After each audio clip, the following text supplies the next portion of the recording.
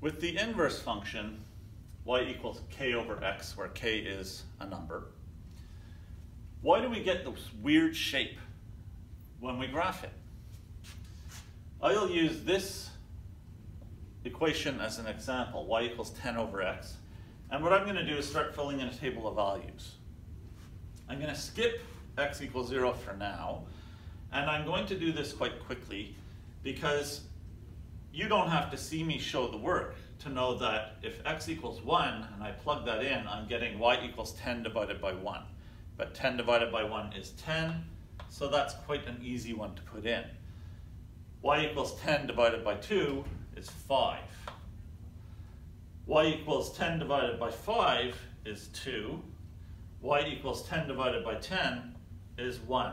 Those points were fast to do.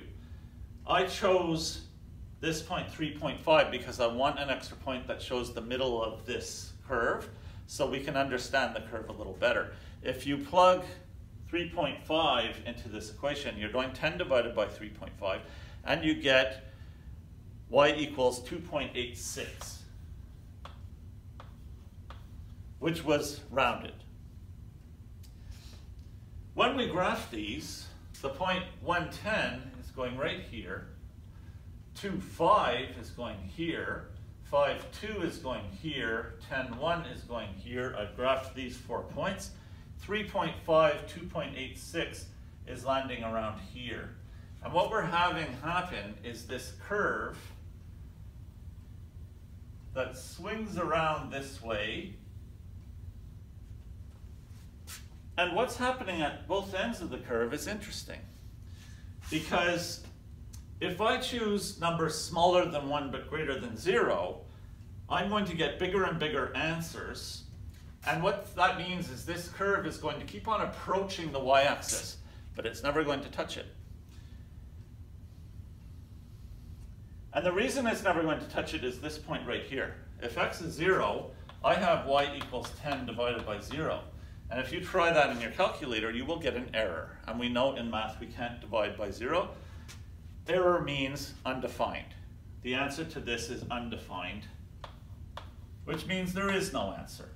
That's why this side of the curve doesn't touch the, x, the y-axis. And then there's this point way down here where y equals to 0. To show you what happens with that, I'll take my equation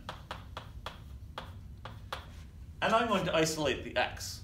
It was useful to have the y isolated for all of these points because it was an x value we were plugging in. To isolate the x in this equation, I'm going to start by multiplying both sides by x. These cancel, so I have xy equals 10. But the x still isn't isolated, I have to divide both sides by y. These cancel, now my x is isolated, and I have x equals 10 divided by y, very similar to the original equation. And if I plug y equals 0 into this, I'm dividing by 0 again, I'm going to get an undefined answer, I'm going to get error in my calculator. And that's why on this other section of the curve, the curve approaches the x-axis but never touches it. That's the reason for this weird shape. All inverse functions will have this shape. This is a very simple one. It's possible to move that shape around on the coordinate plane by adding other parameters to this function.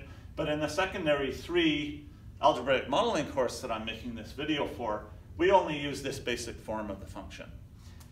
And once you understand why it makes that shape, it's easier to remember how to work with it.